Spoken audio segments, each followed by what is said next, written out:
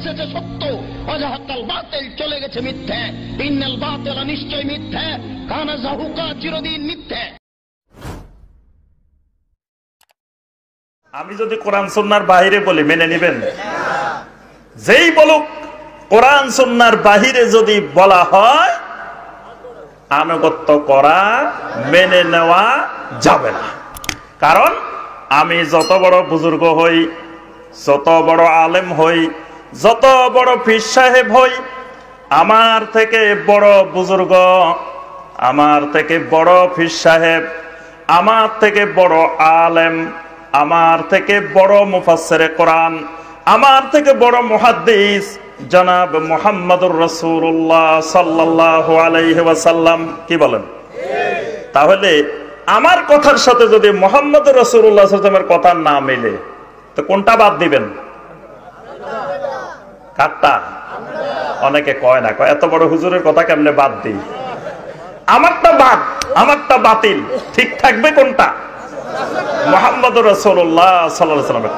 আচ্ছা আমার কথার সাথে আবু বকর রাদিল্লাহর কথার ফ্যাস লাগল?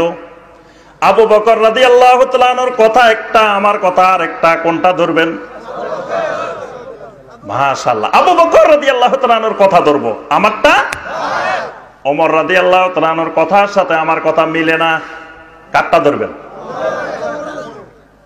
অমর ইবনে খাত্তাব রাদি আল্লাহ তালানোরটা ধরবেন, আমারটা। আচ্ছা ওমর ইবনে খাত্তাব রাদি আল্লাহ তালানোর কথার সাথে আল্লাহ রসুল সাল্লামের কথা মিলে না। কাটটা ধরবেন। জি? অমরের মতো এত বড় সাহাবি কইছে, এটা বাদ দিবেন। যে ওমরের শয়তান এক রাস্তা দিয়ে দেখলে আরেক রাস্তা দিয়ে পালায়। এত বড় ওমর সেই ওমরের কথা বাদ দেওয়ার সাহস হইল কেমনে? আল্লাহ রসুলের কথার সামনে ওমর ইবনে খাত্তাবের কথার দুই আনাও দাম নাই। অমর যত বড় আল্লাহর অলি হন, যত বড় সাহাবি হন, ইমাম শাফি রহমতুল্লাহ কথার সাথে আল্লাহ রসুলের কথা মিলে না। কাটটা ধরবেন। আল্লাহ রসুলামটা ধরবেন, ইমাম শাফি রহমতুল্লাহ আলাইটা ইমাম আহমদ বিন হাম্বল, দুনিয়ার সবচেয়ে বড় মহাদ্দেশ ওই যুগের। ইমাম বুখারি রহমাহুল্লাহর উস্তাজ এত বড় মহাদ্দিস। তার কথা যদি আল্লাহ রসুল সাল্লামের কথার সাথে না মিলে কাটটা ধরবেন, আহমদ বিন হাম্বল একটা বাদ দিবেন। এত বড় মহাদ্দেশ উনি কি কিছু জানে না? কি বলেন? তো তারটা বাদ দিবেন কেন?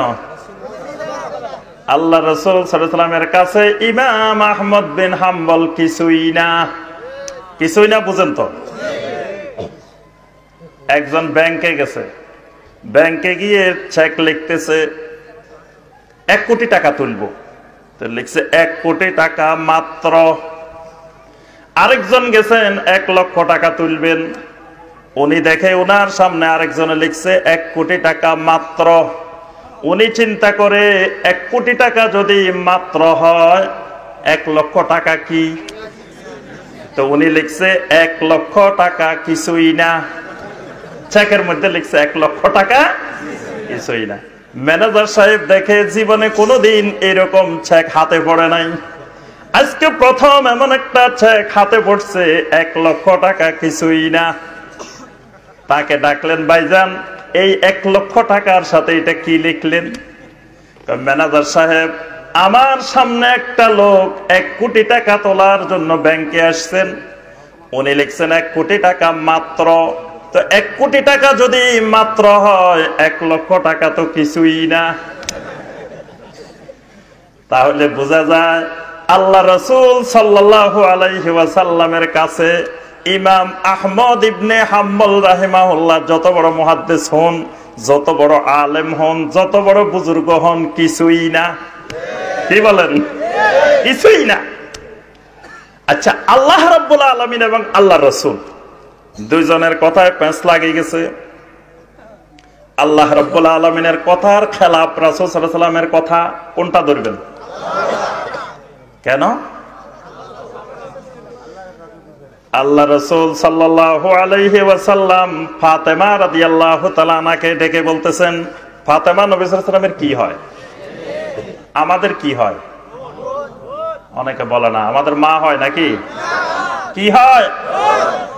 কেন বোন হয়? দলিল বলেন।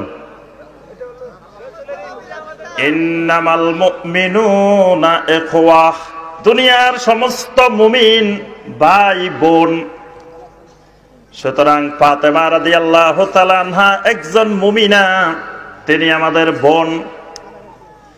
কিন্তু নবীর স্ত্রীরা আমাদের মা কোরআনে কারিমের আল্লাহ পাক আয়াত নাজিল করে বলে দিছেন এরা তোমাদের মা। সুতরাং এরা বাদে দুনিয়ার সমস্ত মুমিনা নারীরা আমাদের বোন। শুধু নবীর স্ত্রী কয়জন? এগারো জন।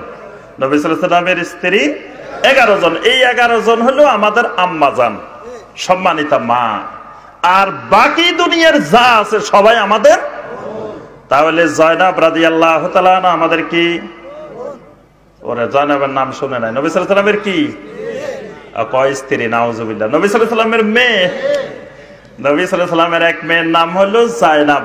এক মেয়ের নাম হলো রুকাইয়া, এক মেয়ের নাম হলো উম্মে কুলসুম আর এক মেয়ের নাম হলো ফাতেমা রাদি আল্লাহ এই সবাই আমাদের কি হয়? বোন হয়।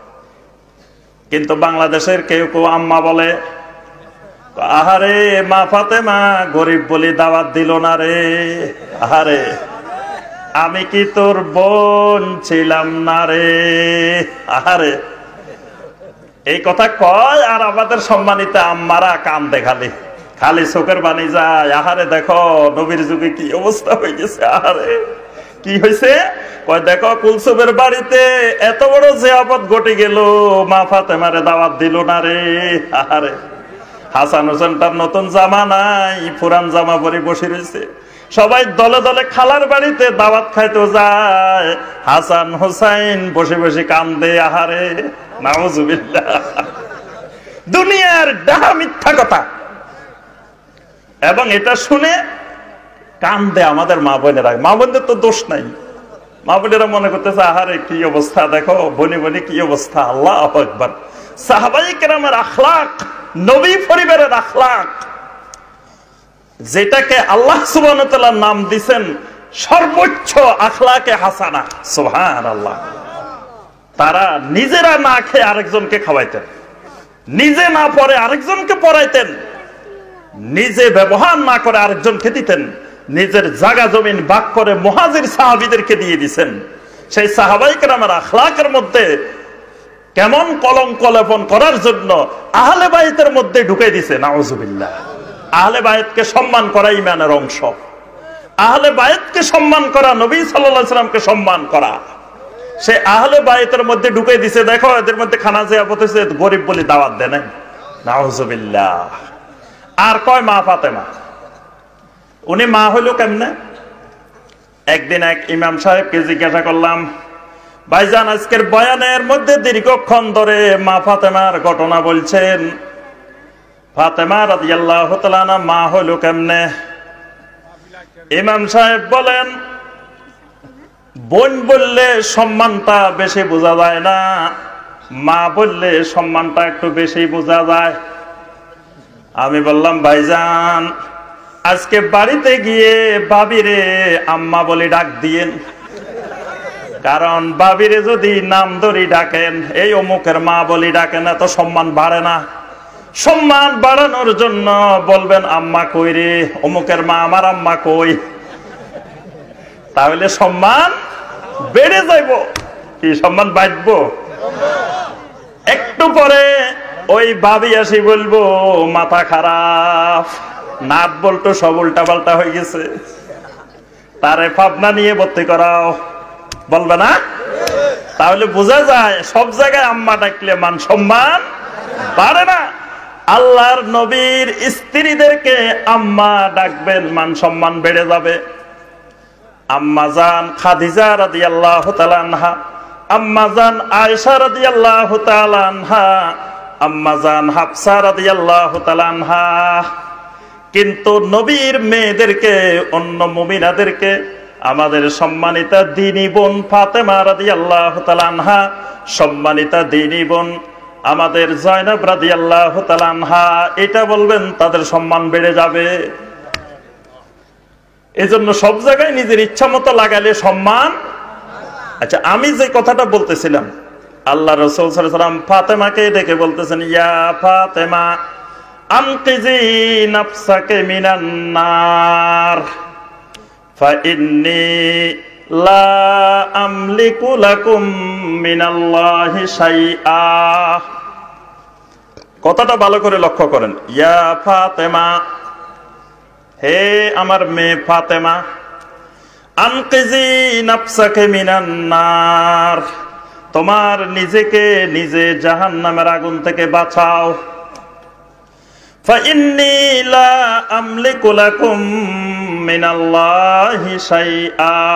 কারণ আমি কেয়ামতের ময়দানে তুমি ফাতেমা যদি জাহান্নামি হয়ে যাও।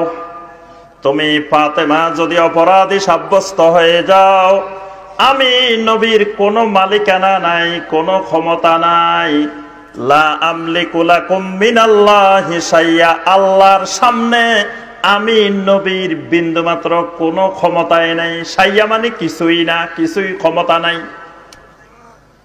আমি, তুমি ফাতেমাকে বাঁচানোর জন্য আল্লাহর সামনে আমার কোনো ক্ষমতায় নাই